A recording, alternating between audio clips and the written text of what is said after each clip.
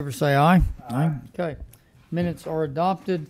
Item number one, old business, authorization to amend joint funding agreement with the University of Alabama, the Northington Property Access Road Improvements Project Sections one and two. Ms. Standridge, Yes, good afternoon, council. good afternoon. This item was briefed last week. Um, there is approximately hundred and thirty-five thousand dollars that the University of Alabama has, um, analyzed as savings on the Northington Access Road project.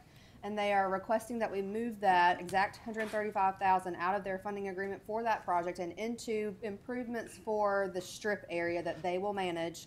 Um, and, you know, just to transfer over that amount of funding from the Northington Access Road into strip improvements.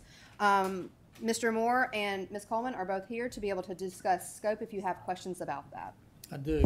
Who wants to start? M- Mr. Moore, you brokered the deal. Why don't you get us into it? And then Summer, you can w- walk us through the structures to be taken care of. Sir, so uh, this request was from the university off of the Northington Road project. There's approximately $135,000 in savings from the bid price. They approached us, and this has been an ongoing, probably for six to eight months, of trying to do some general maintenance and safety improvements uh, on the strip in between, uh, or during the summer months, in between really the end of school and the start back of the fall. Uh, about two weeks ago, well, actually, yes, this Wednesday will be our second meeting. Two weeks ago, we had our kind of pre-planning implementation meeting. It's public safety centric for uh, fall 23's football season. Uh, Matt Fajack, Tim Leopard, Chad Tyndall, uh, Chief Hooks, uh, Ralph, really kind of everybody on the UA side and their counterparts from the city side. So Dr. Rush, uh, Scott Holmes, uh, Chief Clark, myself, Summer, uh, sat down and kind of tried to identify some quick items that we could look at for improvement. Some of the ones we have identified right now is adding some um, kind of speaker and camera type systems to the police precinct area. Uh, Mr. Speaker what? Speaker to help communicate if you needed to do crowd disbursement. Um, Mr. O'Leary noted some fiber improvements in the area that will be running the precinct that should address some cameras that we'd also like to install that get disrupted due to uh, excessive crowds and Wi-Fi that can kind of cause the signal to go down. That should be cleared up. I'm sure you're familiar with the yellow kind of loading zone area. Um, we are working with uh, Ms. Coleman and the UA side to figure out a little bit safer way for what I'll call the ride sharing, the party carts, joy rides, Lyft, Uber, etc. Kind of restripe that, get that cleaned up. There's some trip hazards out in the area that have been, been identified by uh, Mr. Green and then the UA's facilities maintenance group that we're looking at trying to get on some of the intersections improved for some general cleanup. And then also too, there's also some discussion about lighting in some areas that we're going to talk about. I think it's this Wednesday that we would like to get moving in some areas to do a little bit faster.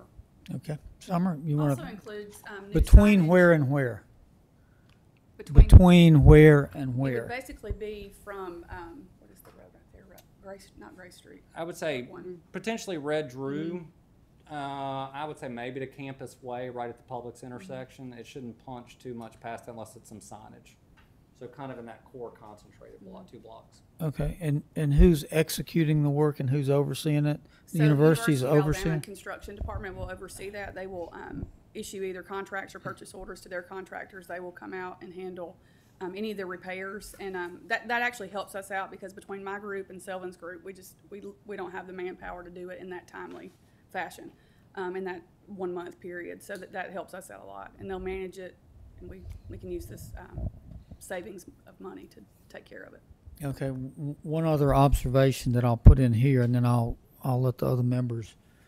Um, this, this loading zone, which runs from Red Drew to Frank Thomas, I think, essentially, that we, we got rid of the parallel parking there, and we converted it to loading, reserve loading zone. I- I have never seen it utilized. I routinely, um, several times a week, will see the trucks parked in the center lane of University Boulevard, and anybody who wants a pizza or burrito or whatever is parked in those lanes. So I would ask that if if this is encompassing that area, that I, I would suggest that we include whoever that is, our traffic engineering people, reassess that, please. Okay, And I we can talked about also um, restriping and painting for it to be a, a ride share area or a delivery drop off, but not a not like a Sysco truck, but just a um, Uber Well, driver. well, r- something. right now, it is they park there. routinely and regularly used to, for people Right. to park, and there's no enforcement that I know of, and it's, that's how it always sits. Okay, any, uh, Mr. Crow, Mr. Faile, any questions? Sure. Is there a cap on how much money we're gonna spend on One thirty-five. One thirty-five. Not to 135? exceed. That just seems like a lot of work. Can we do it for one thirty-five? I guess we Yes. Yes, and I mean, I, I, I walked the area with Tim Leopard um, a couple weeks ago, and we went, we noted some things. I think it's totally doable. And I do think, uh, and Summer touched on this, and I, I was remiss, I, I should have pointed this out earlier. I did speak with, um, Public Works and Facilities and Grounds on those dollars. Both reiterated Ms. Coleman's point that really from a capacity manpower, be able to actually execute it within that sixty-day window, it would be more advantageous for the university that we looked at doing it internally.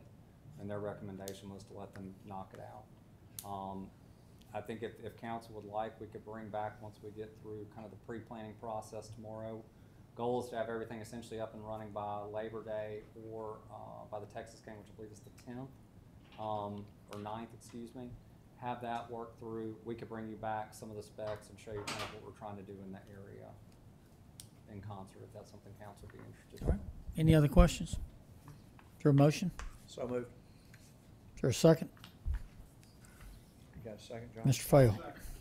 All in favor, say aye. Aye. Aye. Okay. Motion is approved. Item number two, You're or voting. item number one on new Skip's not, business. But he always votes. Authorization to amend contract agreement with the Para Foundation for improvements to Bowers Park. Hey, good afternoon, council. Good afternoon. This is to amend a previous contract with the Para Foundation from two hundred and thirty-five thousand down to one hundred thousand. Uh, this is due in large part to the ask that both Tuscaloosa Tourism or Visit Tuscaloosa and the Para Board came to us for what those improvements may be, and for us finding cost savings for the city to be able to provide fiber and Wi-Fi work that originally was going to be required. That was for the Dixie Youth Yes, deal, right, that never happened. correct, So this is the original contract.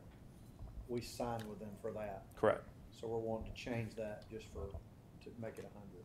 Yeah, lowering the amount just from the list of asks that they provided with us, the amount come in came in a lot lower than the previous ask. Mr. Chairman, can I ask another question? Yeah, sure. Yeah, just, so, t- I mean, you said fiber, what, what else? I mean, they're gonna up, aren't they gonna upgrade the ball fields and? Yeah, they're gonna provide, Gonna uh, happen for that? they're gonna do air units in the press boxes, run electrical wiring out into the dugouts, and then do upgrades to the PA communication systems. Currently, one PA system goes to all four fields in each cluster, so each field will have its own PA. Go ahead, Mr. Faile. Is Wi-Fi involved in this? Yeah, uh, both, uh, yes, sir, both, uh, ball field clusters will have Wi-Fi servicing them and roughly the area nearby. And, and so all of that, that Wi-Fi fiber, all of that's at Bower Park, Bowers Park. Yes, sir, there's already conduit out there that the city will be able to tap into and utilize. There would be a little additional that we'll have to do, some boring under the road right there. But, uh, compared to the cost that was fifty-five thousand proposed from Para, we think we could do the work for much cheaper. Okay. Can I ask another Go- yeah, sure. Dakota, doing these improvements, and I know Stan's here and our friends from Para are here too, but we feel, I would hope, the answer is yes. This is gonna improve our, our prospects of getting maybe some other tournaments, some other things. These are things that we need to do in order to make us more competitive. Right, Yes, for- and I, and I'll for lead on, tourism dollars. I'll, I'll lead, lean on Stan Yes, really to yes, speak to yes. that. It would be, I mean, it's pretty much any bid outside of kind of something very small or bare minimum requirement is you have to have Wi-Fi nowadays. So getting those kind of up to, up to speed and up to grade, we'll be able to kind of, kind of that's the Dixie Youth was, that was one of the main kind of draws of it was it was kind of, the build of it, not only was it huge, but it was gonna have to, you know, force us to kind of get up with the times, um, with it. So yes, it'll, it'll definitely help us in the long term for sure. IT is gonna maintain the system itself, we made that decision, and that will, if Para's having a big function on, on a weekend and something goes sideways, they don't have to call out a company and hope that they will get there. Um, and so it, it's good all the way around. The other thing is that none of these improvements will be torn out because we have um, several million budgeted for Bowers Park improvements over the next few years. And we want, the, none of these improvements will be torn out as part of those improvements. Okay, and so we never, Ms. Stanton, we never put, we never handed the check over to the Para Foundation, right? It's still in this account, twenty-three five one seven. Yes, sir. The way that we, um, the way that we configured the funding agreement was on a basically reimbursement basis that Okay. they would have to, you know, give us cost, um, I got you. uh, substantiation for what they spent and the investments they put in. And since nothing ever happened, um, we never cut them um, any checks off of this budgeted amount. So the full 235 is currently sitting still budgeted as it was um, appropriated. Um, and so uh, this funding agreement would just take that to 100,000 for the specific investments. The other 135 is still going to be kind of in that Bowers Park investment account that could possibly be reallocated at another time. All right. Something else if we deem it. Yes, sir. So uh, we, we've got the Para executive team over here. Uh, Brian, Mike, anything y'all want to add or ask? Okay. Uh, is there a motion to approve? Motion. Is there a second? Second. All in favor, say aye. Aye. Okay, motion is approved. Um, item number three, quarterly budget, uh, Mayor and Ms. Standridge. Yes, sir. I'll, I'll begin with the general fund and education, uh, not education, ETF, Elevate, Tuscaloosa major funds along with water and sewer. So we'll jump. I say ETF, uh, sometimes I still think, uh, I put on my state hat and think education trust fund. Uh, when you look at our general fund major revenue budgets, uh, when you look at where we get the prime, where we, our primary sources of revenue, sales tax, uh, is always a driver of that, along with countywide sales tax. So nearly fifty percent of our revenues come from the day-to-day transactions in our economy. If you factor in use tax and SSUT, it climbs above, well above fifty percent. So that's what drives our ability to, to fund fire, fund police. As we were talking about yesterday, forty-one cents out of every dollar we spend at City of Tuscaloosa goes into fire and police. So that is certainly our, our top priorities.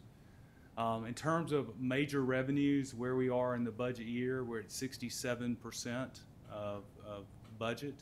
Um, overall, uh, we estimate that if all things being equal, and if we are able to average out what we, or collect what we did last year at this time, we will finish with a six point two million dollar revenue surplus on the general fund. That does not include Elevate. You can also see through that bar graph that every month we've been a little bit ahead of prior year. Um, I'm getting rumors out of A and F that that may not be the case for April's election. Um, it's still too early for us uh, to to know. Um, there'll have to be a deep dive, but we do see signs of a slowing economy compared to last year. The other thing I think we have to be careful of and not to have hubris about is that yes, there is growth on the sales tax side, but how much of that's inflationary related versus actual true growth in the economy itself. Um, so certainly you want to be ahead, but how much of the like prior year inflation contributed to that? Um, again, that, that's that's something for us to think about. Is we're now uh, you know two feet in the deep end of the pool of the fiscal year 2000 fiscal year 24 budget. So in terms of general sales, uh, general fund sales tax collections, uh, 23.6 million uh, was what we collected um, as of March, and you can see where we were this time in 22 and 21. Overall, we anticipate being 1.6 million above budgeted on city sales tax. On use funds, uh, we're a couple hundred thousand of where we were this time last year. We anticipate, uh, assuming that we, we collect the equal amount prior from, uh, from April to September of last year, uh, we anticipate having a budget surplus in this line item of four hundred and sixty-six thousand dollars. Can, can I ask a, it Mhm. should be a short answer question, and I may have asked it before. I think it's gonna be a mischief. do we, when we're building the revenue budget for, um, the sales tax, do we assume an inflation number on the front end as part of that? I know we've talked about, we generally take our, our last year's, and I think we add two percent. That, uh, uh, We- under the Mike Wright, you know, that was the Mike Wright formula. really less on sales tax and use tax. We, Okay. we have increased on property tax and lodging tax and SSUT, just because of their growth, but But on the Becky sales or tax, do or we- Carly? We The didn't, no, sir, we didn't add any growth, We don't assume any inflation base on the front end of that? not, not Okay. last year's. All right, thank you. Looking at simplified seller's use tax, which is what I, I normally refer to as the internet tax, certainly this continues to grow. And on one hand, that is a positive, and we do anticipate under SSUT a, got my cheat sheet in front of me, uh, almost a million dollars above budget. But I'd like to remind you, what you're seeing there is about seventy cents on the dollar. Um, it's as if, uh, you know, this, you gave somebody a dollar and they gave you back seventy cents, and you should be happy with the seventy cents that you got. Um, this is certainly something we're going to continue to work on. I sent y'all a copy of the PARCA study recently. Fifteen percent of gross sales now in Alabama total come out of um, internet-based sales, and that number is going to continue to increase if, you know, if our share of that continues to be less and less, that will continue to be a problem for municipalities across the state, especially larger municipalities. Remember, sixty-eight percent of points of sale in Tuscaloosa County take place within the city's limits. Um, but we don't receive sixty-eight percent of the share of the county SSUT appropriation. Um, that, that's something that long range, um, myself and others that fall behind me will have to certainly continue to work through to resolve. Um, on property tax, we're a little bit ahead of this time last year. The majority of property tax has been collected. Uh, Becky, in her wisdom, believes we will finish about hundred and sixty-six thousand dollars over budget by the time it's all said and done. I don't know about you, but have any of you got any appraisal complaints? Mine went up twenty-three percent. Uh, mine went up, and I've had a lot of people contact me via email or text, and I've, um, why the city did that, and I, Why did we do? I, I don't know why we did it. We, we didn't even realize we did it, you know? Um, but we, we sent them some to the county, uh, tax appraiser's office. Uh, general fund rental, uh, tangible tax, we anticipate a small budget surplus of fifty-two thousand. We're at fifty-three percent of budget and are a little bit ahead of where we were this time last year. So that'll shake out at, if we're at fifty-three percent, can you back up one? Mm-hmm. And some of So these. that's gonna- A million one, a million two, is that, The overall budget for Right. rental tangible, this year we budgeted one million, one hundred and fifty-four thousand. okay. A lot of these, uh, not a lot of these, but some of these taxes are, don't come in twelve increments. Um, they're collected over twelve months, but larger shares come in different time periods.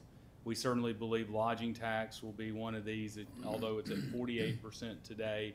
Uh, we do anticipate that lodging tax will exceed budget, albeit by hundred and twenty-five thousand dollars if we collect equal to this time last year in fiscal year twenty-two.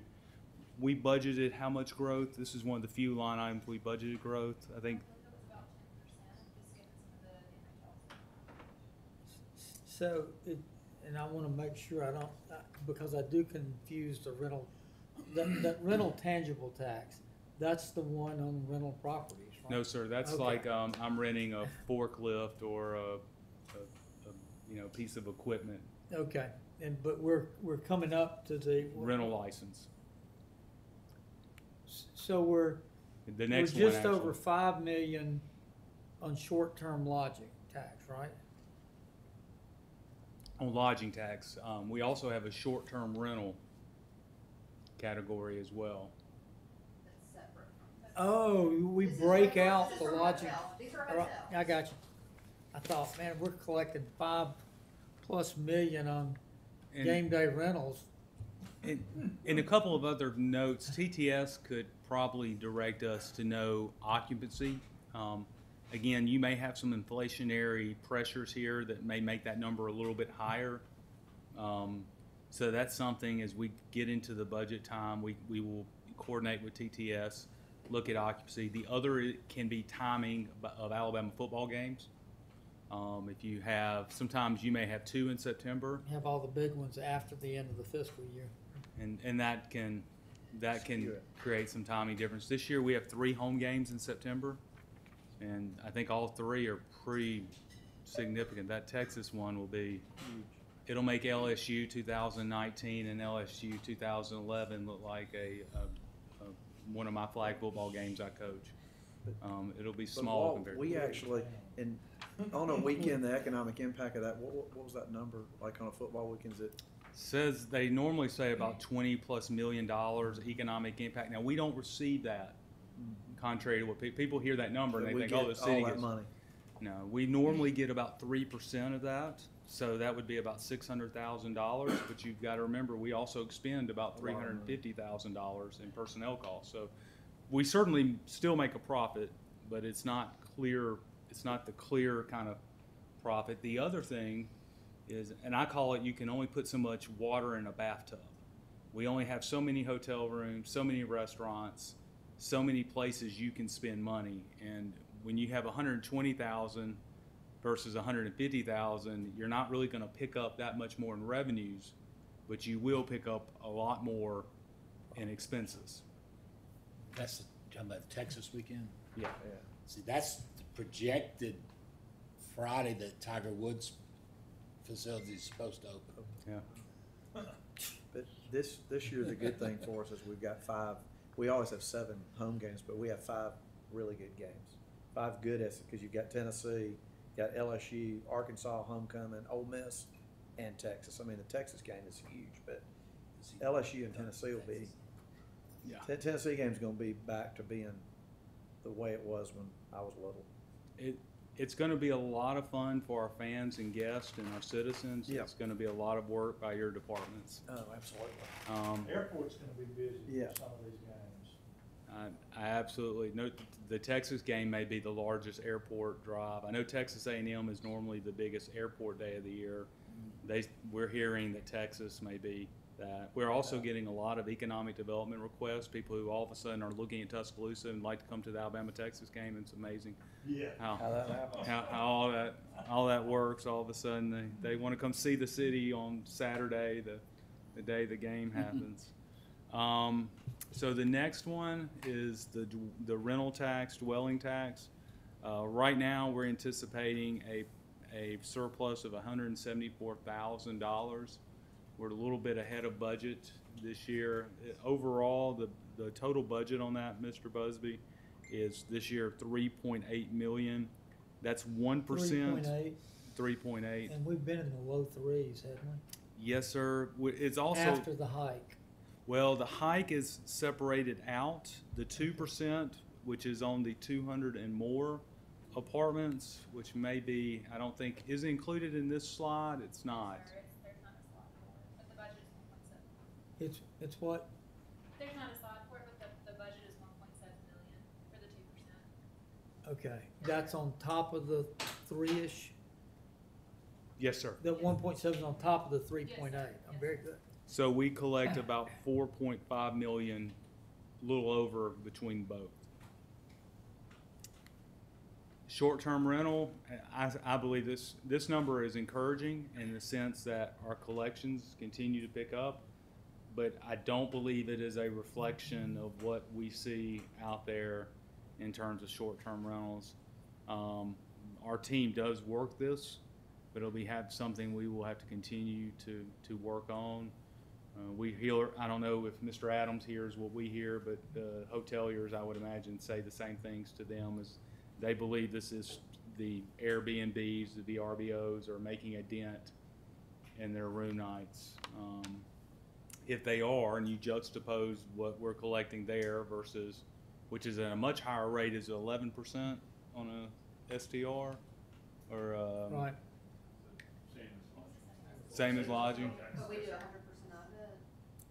100% of the 11% Um, you know, I'm not saying there should be comparable, because there's not three thousand plus hotel rooms, but, you know, I do think that's something, as we look over the horizon on potential revenue that we're not collecting, this could be something the council wants to focus on in the future. It certainly would take more enforcement to do that.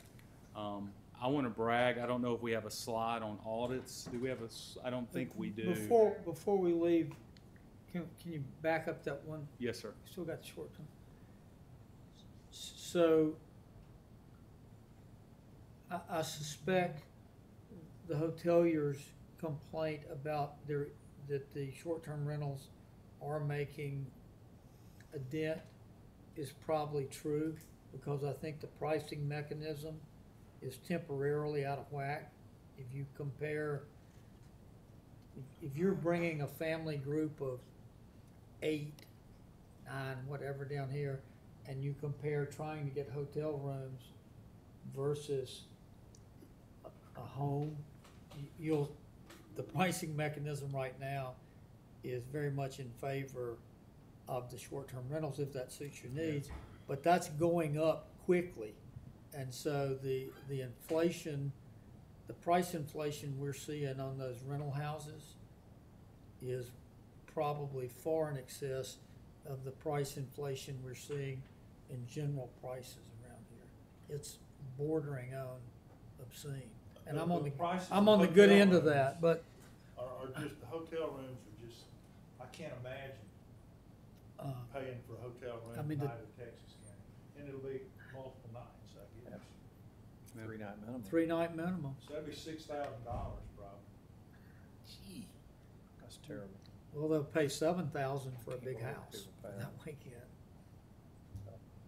I'm sorry, go ahead, Mayor. No, no, it's, The city is just horrible. It's not so it's, there's not a slide, but I really want to commend, uh, Ms. Standridge and Ms. Sheep and their, s- and, and Mr. Smalley and their entire team. Um, our audit budget this year was two hundred and fifty thousand dollars. We anticipate an, um, eight hundred and forty thousand dollars, uh, that we will end the year on. Um, and a lot of that has to do with, in my opinion, um, we're focusing on going after more of the big, bigger out of town who have both a, a hybrid of an internet and brick and mortar business as well. And they've done a really good job of coordinating with OCA on that, and so they're, they're to be commended. That is significant, and please express your, our thanks to your team.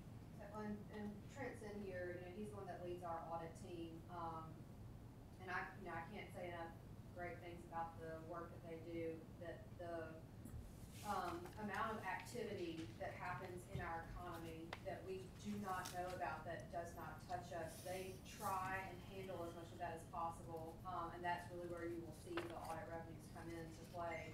Um, you know, not, obviously not everybody wants to come in, uh, report to the government about the money that they're making in our, in our community. And so they really are going to be the, the ones that, that try and get everybody to play by the same rules and have a level playing field. Well, I think every taxpayer, um, most taxpayers in our community that wake up every day, go, go to work, they invest in their homes, they deserve to know that everyone's paying their fair share. And I'm really proud that our audit team uh, is ensuring that that happens. And, and we need it because you, you hear about the challenges that we face. And certainly the taxpayers want us to make certain that everyone's, they don't want to pay any more until they're certain that we're collecting every bit that should be paid. And our audit team has done a really good job, and I'm, I'm thankful for it. And I know that that is not an easy assignment. Business license, which is always a reflection of a year in the past.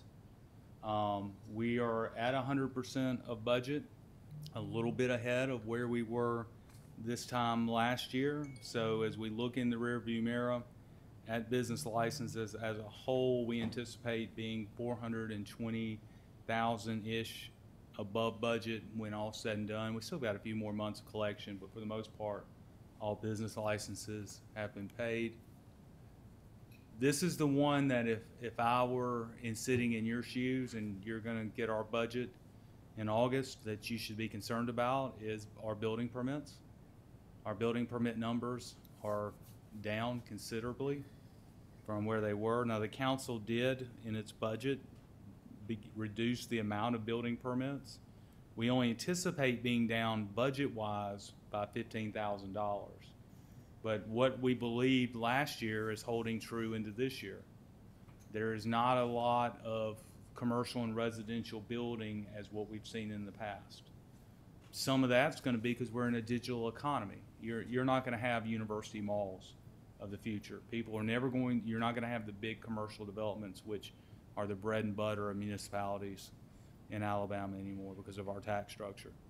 Um, But even with that said, I think we, there is a definite slowdown. Certainly, the- if the Fed's goal was to slow it, slow it down by bringing up in- interest rates, they have done it, at least in our little corner of the world. I think we have to keep this in mind as we're thinking about the twenty-four budget. Um, That probably needs to govern us and not being too ambitious in our revenue line items, um, assuming much growth. I think we've got another twelve months of a wait-and-see economy.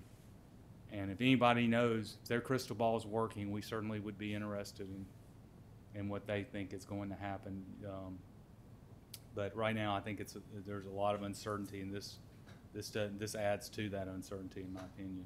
Any questions on this? Um, Ashley and her team, they always do a deep dive prior to budget, and we will give you data on this, kind of let you get a little, uh, uh, an inside look of the breakdown of residential and commercial as we get into the budget season. County sales tax and uh, certainly mirrors the cities. The little bit of difference with the county sales tax is they, they throw in their use tax with it. We anticipate being one point one million above budget. This is really good for not only the county, but for our city schools, county schools, Tickrick, DCH, Northport. By the way, SSUT doesn't get broken out by those. It, it just goes directly to the county. So whereas the county sales tax, we get nineteen percent of, on the county distribution of SSUT, we get nothing. Our city schools get nothing. And again, that's a, that's another long-term consideration we'll have to work through. Um, looking to elevate, uh, as we, um, as it mirrored the general fund, you see that compared to last year, month by month, uh, we're, we're, we're streaming ahead. Elevate is primarily a sales and use tax fund, so it's, it's gonna reflect what you see on the general fund, sales tax side, again, fifty-three percent of budget. Uh, Becky anticipates we'll be about four hundred thousand dollars above budget on sales tax, and that we'll be hundred and eighteen thousand above budget on use. Um, the water and sewer side, we've got some promising news. Uh, revenues are climbing up. You see that thirty-nine percent number, and you think, well, that doesn't equal the number of months. We're getting into our money months with summer. So certainly use will be going up. Our average daily uh, treatment of water combined with plot and um, love has been over 30 the last few days. And so, you know, I- not that we're pro drought, but uh, dry weather certainly helps um, in terms of revenue sales, both on the Does. water side and sewer side. And that'll be the headline tomorrow in, in Thread. Mayor's pro Voting drought. For a drought. Yeah. Um, My bill's gone up twenty dollars a month, I don't know. Well, w- my question is, why hasn't it gone up 30? Well, I need a raise. Oh, come on. Um, but in all seriousness, we're, we're, we're seeing some good numbers. Certainly, the council's action that it took to invest in the ten-year plan and to abide by what the, um, what the, what the economy is doing and what inflation is doing has certainly helped in our water and sewer side. You see the water revenues, sewer revenues are gonna mirror pretty much that. Um, so overall, on the water and sewer side, um, compared to previous years, feel really good.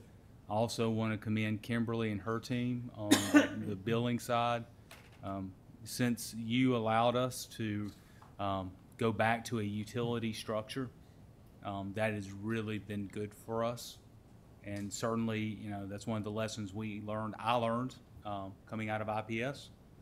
And um, Kimberly has done a really good job, much more hyper-focused, solving a lot of issues. And I think that's going to continue to pay dividends for us as well. Um, I'll be happy to answer any questions. Certainly, uh, Ms. Standridge and Ms. Sheep, they're the experts, and they can go into any technical details to any questions you might have. Thank you, Mayor. I- you. I asked mine along the way. Gentlemen, any questions? Mr. Connor? I'm good. And just for council's awareness on the expenditure side, um, you know, a number of the city departments are, um, tracking a little bit below where they would be percentage-wise for budget, and so with the mayor's, you know, analysis that he mentioned for being approximately six million dollars over budget in the revenue projection, so that's six million dollars to the good, we should be able to hold steady on expenditures.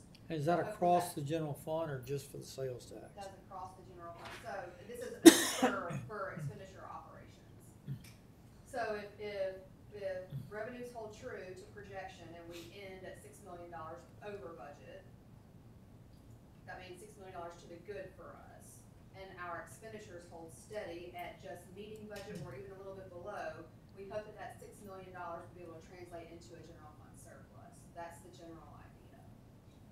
And, Okay. and it's a preview to the, our goal is to present the budget on August fifteenth. Um, we've moved up our timetable to try, and that's certainly, you know, statutorily, we have to the last day in August, but we're gonna work and endeavor ourselves to have it by the fifteenth. Um, this year's budget is quite frankly, it's gonna be, it's gonna be very vanilla compared to what you've seen the past two years. Um, a lot of that is due is that the things that you've initiated now are in the mix and they're moving along and, and we're preparing down that road. The other is that six point two million may sound like a lot of money, but in a city with fourteen hundred employees, that's not. Um, and just the employee cost alone will eat up, if not the majority of all of that six point two. And that's before you get into pay increases for your employees, um, and before you even touch technology, vehicles, equipment, agency funding, et cetera. So you will likely see within your budget actually reductions in department head expenditure line items. So it, it's, it's gonna be, again, hopefully next month our revenues are even better and we can project to seven million. And then the next month, and you will have two more months than I will. But six point two million is great, but it's not, I, I just don't want, when the public hears, and really the agencies that we fund, when they hear six point two million, they, yeah. For us, that's, that's not a lot of growth that you can then go out and do what we did last year when we were, what, fifteen, six, Fourteen, fifteen million. in growth. And that's the, that's the economic situation. By the way, I'd rather be in that economic situation than a lot of cities who are negative and then still have to deal with all the things that we just talked about. Thank you, thank you Thank you. all. Uh, Mr. Sanders, one last question as we go out. Regarding the slowdown that we're starting to see in the, the building permits, what's the single best weather balloon we can watch to get a reading on that as we move forward? For business permits or for economic activity? For, for recessionary environment.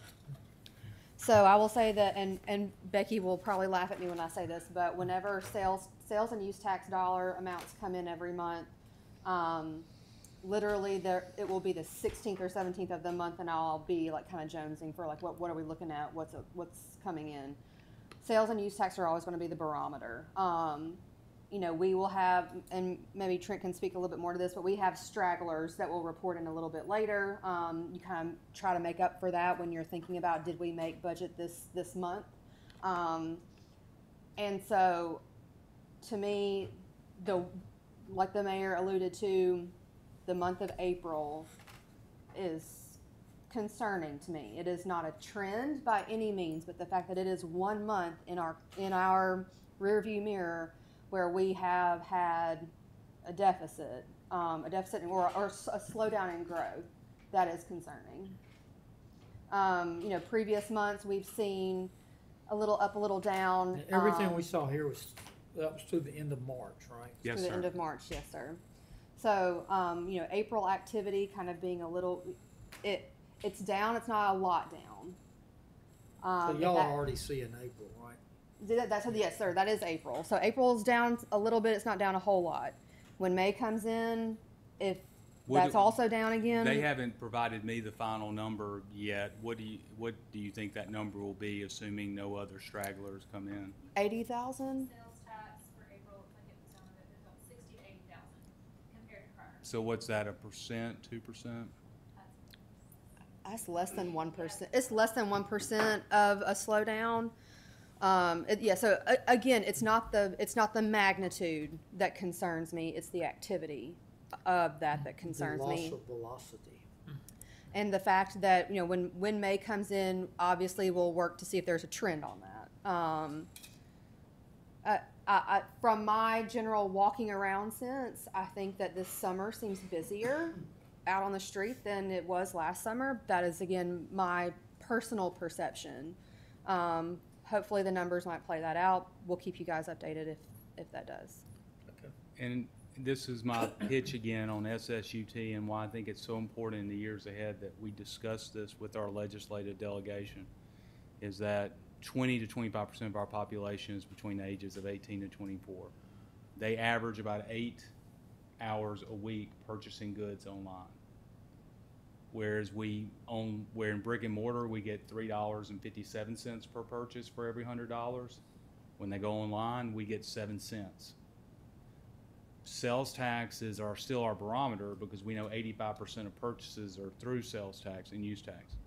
But as that number continues to creep up, how we pay the bills through, eh, through, you know, through sales taxes is gonna diminish if SSUT is not addressed. We don't have any other way to go. We can't increase business licenses. We're capped under state law. We have a local act that, that prohibits any sort of, um, occupational tax. Um, sales tax, we're at ten percent and shouldn't go up. We're, you know, for now, I think we are where we need to be on that. There's really not a lot of places to go, so I would just, I think it's really, as a council member, we'd ask that you continue to talk to our legislators about this, because that's money you've earned, and those are services that you're providing that someone else is, it's redistrib, it's redistribution of wealth. And it's it, per- it is to the rural areas, away it's, from the it's basically to the rural areas, and it's basically protecting out-of-state companies. I mean, you're, we're, we're, we're saying Amazon's is more important than Amy's Florist. It's to And the rural areas and it's to the counties as well. I mean, let's not take the counties out of the equation that they get. A, number of, you know, Tuscaloosa County is, is an outlier. Tuscaloosa County gets three percent of sales tax, whereas most counties have a half of a percent or a one percent sales tax, but yet they're, the SSUT is distributed by population, and, and the cities within those counties, population is factored into the distribution method. Sorry, that's my soapbox for that one, I'll get off that one. But that is why you see the larger cities that are really beginning to talk about this, because you can't sustain population growth while at the same time that population is buying their goods online and you're not receiving the benefit of those dollars. Um, Population should result in revenue that pays for the services. So, um, again, it's not an issue for today or tomorrow, but it will be an issue as we begin the next decade. And it's very important that the next four or five years, we get this solved, um, so we can, you know, continue to fund services and have a great quality of life. People want the city to do the mer- incentives for Mercedes. People want the city to keep an airport open. People want the city to provide all these other services. Um, but those come with a cost, and so we have to, as we grow, we have to have the revenues to continue to fund those things to make them happen in our community. Anyway, I can't, I don't ever miss a chance, Mr. No, no, and we appreciate it, actually. uh, um, to talk about SSUT because it's important. All right. Uh, gentlemen, any other business to be brought before the committee? No, sir. Is there a motion to adjourn? So moved. All in favor, say aye. Aye. Okay.